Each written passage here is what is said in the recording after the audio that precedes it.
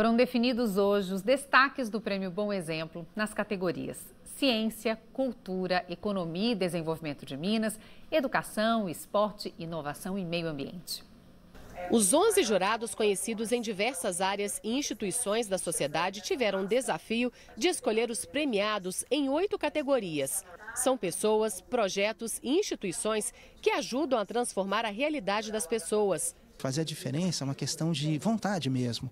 E a gente percebe que isso acontece em todas as instâncias. E nosso papel aqui é dar luz a isso, é mostrar para todo mundo, para que isso sirva de incentivo, inclusive, para que outras iniciativas aconteçam também. Foram escolhidos oito destaques em diversas áreas. Ciência, Edson Durão Júdice, engenheiro civil. Durante 65 anos se dedicou à educação. Foi responsável pela formação de gerações de engenheiros. Inovação, professor Nívio Ziviani, engenheiro mecânico, atuante no empreendedorismo em Minas e em startups.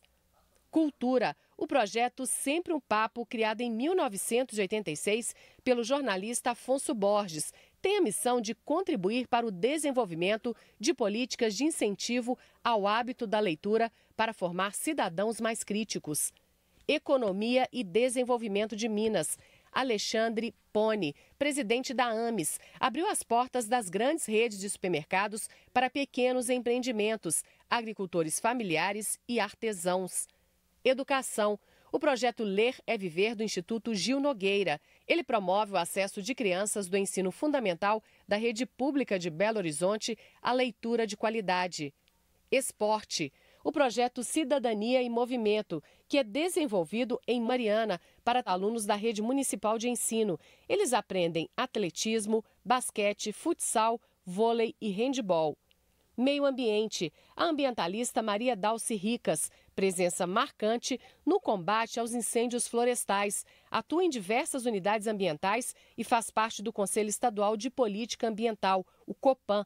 A grande vantagem desse, desse prêmio Bom Exemplo, né? Difundir, divulgar, elevar o maior número possível de pessoas a consciência de que querendo é possível melhorar. Emocionante para você ver que, como é que as pessoas se dedicam ao próximo, né? Uma atitude às vezes anônima, mas é uma atitude que, que tem uma, uma dimensão social, dimensão de generosidade muito grande. Foram feitas mais de 1.500 indicações na categoria Cidadania, mas apenas cinco vão para votação. E a escolha do melhor é pelo voto popular. Nada educa mais do que o exemplo.